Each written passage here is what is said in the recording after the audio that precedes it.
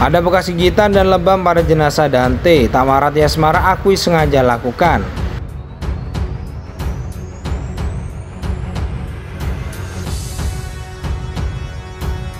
Eh, apa ya?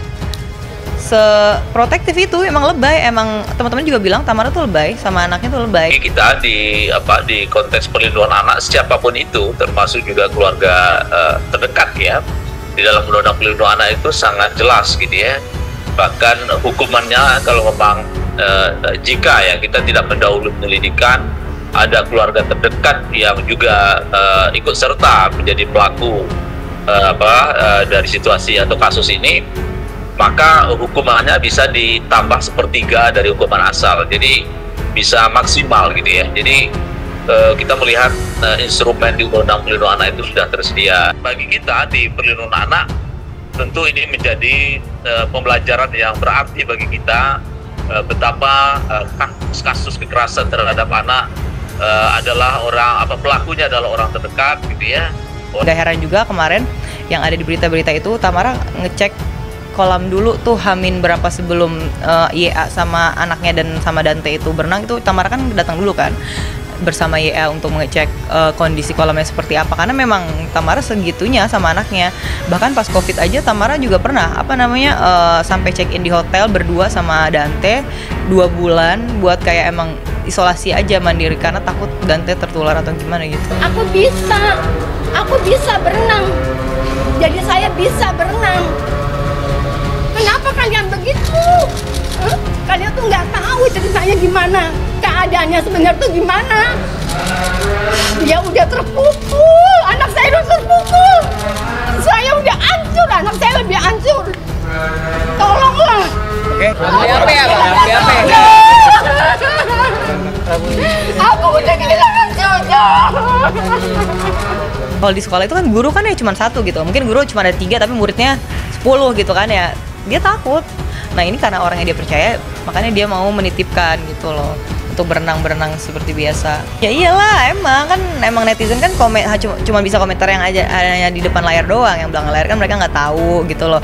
Sedih-sedihnya Tamara nggak tahu, mau aku posting emang kesedihannya kan kan aneh gitu ya. Menurut aku sih ini sesuatu hal yang janggal banget. Dan dari keterangan ahli, orang yang bisa punya sertifikasi dalam mengajar les renang ini, menurut aku akan memberikan bantahan yang memberatkan untuk tersangka yang diduga melakukan aksi ini dugaannya adalah pembunuhan berencana mengarah ke sana teman-teman.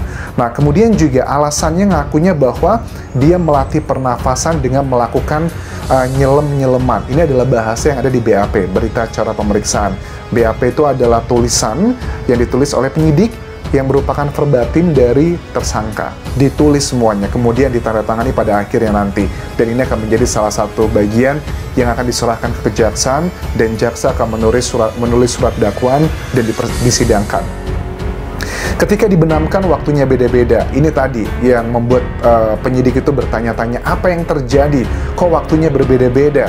Aneh banget apa karena ketidakprofesionalan? Apa karena ada indikasi memang Dante sudah mau dihabisi seperti itu? Untuk proses penyelidikan dan termasuk juga pengembangan, eh, tentu kita harus tunggu ya dan kita berharap semua pihak termasuk juga keluarga besar kemudian eh, apa eh, di TKP ya masyarakat yang menyaksikan uh, memberikan informasi-informasi sekecil apa pun ya kepada uh, kepolisian agar uh, kasus ini bisa secara terang benderang untuk uh, melihat uh, apa uh, kalau memang ada para pihak yang lain ya uh, ikut serta dalam uh, apa uh, uh, proses atau dalam kematian Dante ini. Ada CCTV ya sebelum uh, Dante renang gitu beberapa hari sebelumnya. Jadi adilnya,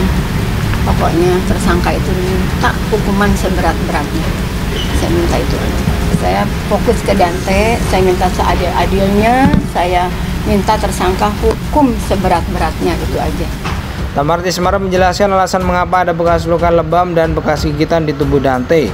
Hal ini didapatkan setelah dilakukan proses ekshumasi atau pembongkaran makam anaknya. Diketahui Raden Adanti Kalif Pramudityo alias Dante meninggal dunia karena tenggelam di kolam renang di kawasan Jakarta Timur Sabtu 27 Januari 2024. Dante merupakan putra dari Tamarat Yasmara dan mantan suaminya DJ Angger Dimas.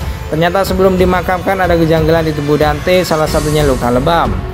Tamar Jesmara lantas mengungkapkan alasan dari penyebab luka lebam di tubuh Dante sebelum dimakamkan. Dia mengatakan kalau ia sengaja menggigit hingga mencubit tubuh Dante ketika sudah berada di IGD. Hal itu ia lakukan agar putranya bangun dan sadar. Saat itu Tamara membangunkan saat anak dengan cara menggigit dan memukulinya. Hal itu meninggalkan bekas lebam di tangan Dante. Aku gigitin semuanya. Waktu Dante udah di IGD, aku gigitin semuanya. Sebadan aku cubit semua buat ada respon. Itu niat aku. Aku pukulin semuanya. Pokoknya mau bangunin Dante niatnya. Ujas Tamarat Yasmara di tempat pemakaman umum Jeruk Purut, Jakarta Selatan, Selasa 6 Februari 2024. Tamara mengatakan anaknya itu sebenarnya sudah bisa renang karena les renang sejak bayi, sehingga ia sangat shock ketika tahu sang anak diduga tenggelam hingga akhirnya meninggal dunia. Dan les berenang dari bayi, cuma kita nggak tahu fisiknya seperti apa kemarin, makanya kita serahkan lagi ke pihak kepolisian untuk periksa semuanya, kata Tamara. Kendati begitu, Tamara kini menyerahkan kasus meninggalnya sang anak ke pihak polisian untuk diselidiki penyebabnya apa. Dia berharap adanya ekshumasi atau pembongkaran makam anaknya untuk proses autopsi bisa membuka penyebab sang anak meninggal dunia. Berharap pokoknya seadil-adilnya kebenarannya terungkap, ucap Tamara. Tamarti Semara menjelaskan alasan mengapa ada bekas luka lebam dan bekas gigitan di tubuh Dante.